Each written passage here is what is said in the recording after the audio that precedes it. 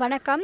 நான் சிந்து ராஜசேகரன் ராமானுஜன் படத்தோட தயாரிப்பாளர் ஒன் ஆஃப் த ப்ரொடியூசர்ஸ் இது கேம்பர் சினிமாவுடைய முதல் படம். நாங்கள் முதல் படத்துக்கு வேறு என்ன மாதிரி படம் என்ன எடுத்திருக்கலாம். ஆனால் ராமானுஜன்ற படத்தை மு- எடுக்கிறதுக்கு முடிவு நாங்கள் ஏன் செஞ்சோம்னா ஒரு உண்மையான தமிழ் ஹீரோவுடைய கதையை தமிழ் மக்களுக்கும் உலக மக்களுக்கும் சொல்லணும்னு நாங்கள் ஆசைப்பட்டோம். அதனால தான் செஞ்சுருக்கோம். ஸோ ராமானுஜன் வந்து ரா கணித மேதை அப்படின்னு எல்லாருக்குமே தெரியும். ஆனால் அவர் லைஃப்பில் எவ்வளவு கஷ்டப்பட்டார்? அந்த அந்த அச்சீவ்மெண்ட்ஸை பண்ணுறதுக்கு அப்படின்றது இந்த படத்தை படத்தில் காமிச்சிருக்கோம். கஷ்டப்பட்டார் அப்படின்றதுக்காக இந்த படம் வந்து ஒரு ஸ்லோ மூவி பயோபிக் அந்த மாதிரி கிடையாது.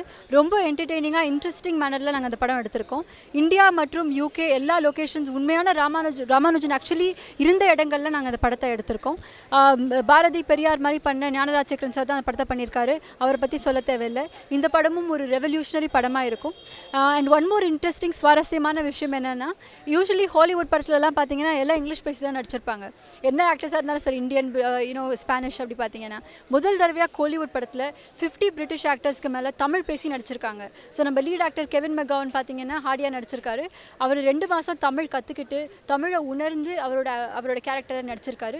ஸோ அது வந்து ஒரு புதுமையாக இருக்கும் அப்படின்னு நாங்கள் நம்புகிறோம் அது மட்டும் இல்லாமல் மியூசிக் ரமேஷ் விநாயகம் சார் ரொம்ப மெலோடியஸாக அழகாக அந்த காலத்தில் எப்படி மியூசிக் இருக்குன்னு ரிசர்ச் பண்ணி இந்தியன் மட்டும் கிடையாது பிரிட்டிஷ் மியூசிக்கும் போட்டிருக்காரு.